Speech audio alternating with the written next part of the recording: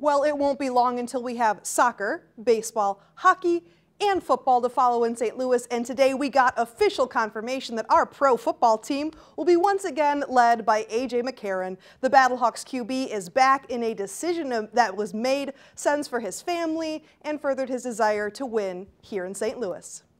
So I, I, think as soon as the season ended last year and uh, Daddy got home, uh, I think the first question was, "Why are you home? Are you are you not playing football anymore?" So that was a hard thing to explain to a you know a six year old at the time was how messed up the uh, tiebreaker uh, situation was that we we got screwed out of. But uh, literally from the time the season ended, it's uh, wearing you know the St. Louis helmet that I brought back home.